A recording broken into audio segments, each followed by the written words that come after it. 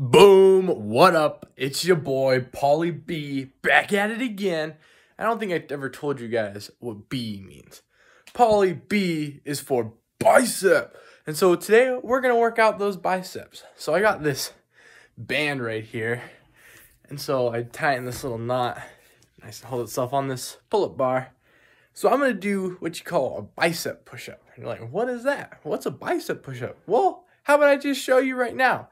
But the thing is, I'm not just to be doing some silly bicep push-ups. I'm to do elevated bicep push-ups. So I'm to put my feet in here. So then, like, I'm floating a little bit, and then do the bicep push-ups so I can get some real thing. Now, I've never tried this before. Don't know if the thing's to break, but you'll get to see it all in action.